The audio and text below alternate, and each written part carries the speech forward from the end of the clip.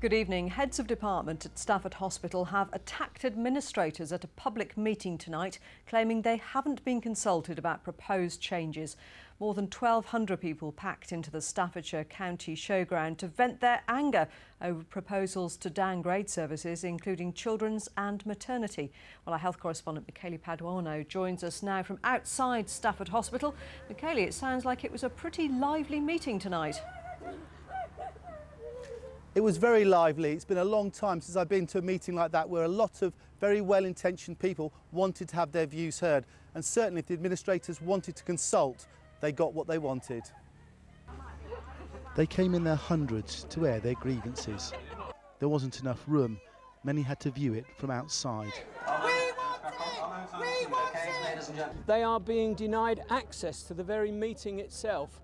They are being told to go to a marquee over the way Inside the meeting, it was more hostile.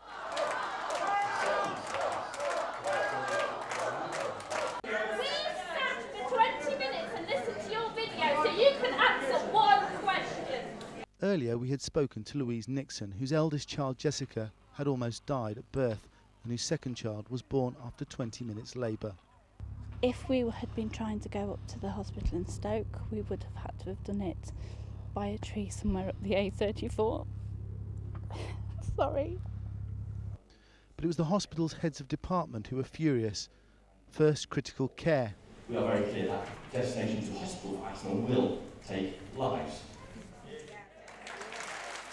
Then children's services who said the facts were wrong.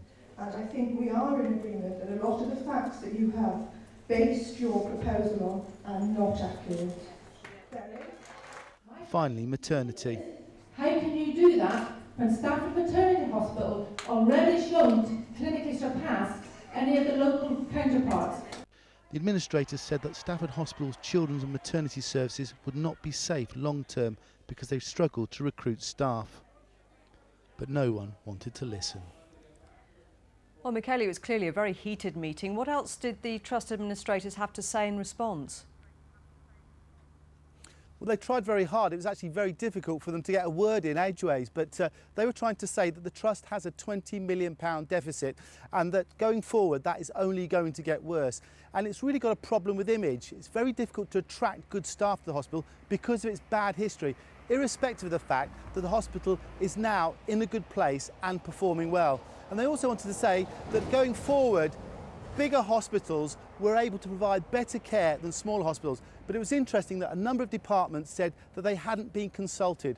Maternity said that they actually had a situation whereby they were providing better care than other services, but that was going to be downgraded in some ways. And one of the key points was critical care, where they said that 20 patients actually could die with asthma travelling up the motorway, which is of extreme concern but also they were worried that they hadn't actually spoken to the administrators. The administrators said that they were going to actually remedy that in the very near future. Michele Paduano, thank you.